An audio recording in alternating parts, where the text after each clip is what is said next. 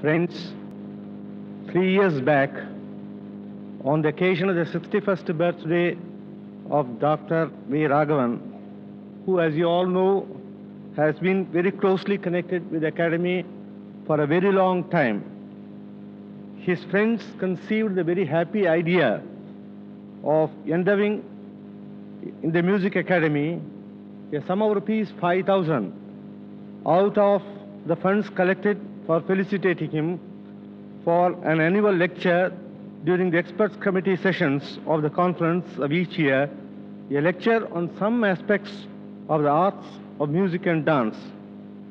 The inaugural lecture of this endowment was delivered by the President of the Academy, Sangeeta Kalanidhi Sri T.L. Venkatramayar, on some aspects of the compositions of Muthuswami Dikshitar.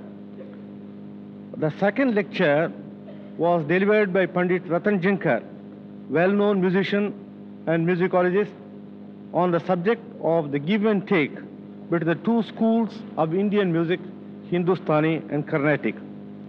The third lecture this year is to be delivered by Sangeeta Kalanidhi Sri Mudikondan Venkatramaya on the subject of Mahavaidyanathayar and his contributions to Carnatic music with special reference to Simhanandana Pallavi. We are glad and happy that we are having the demonstration, the cooperation of Sri Lalgudi Jayaraman and Sri Umayalpuram K. Shivaraman.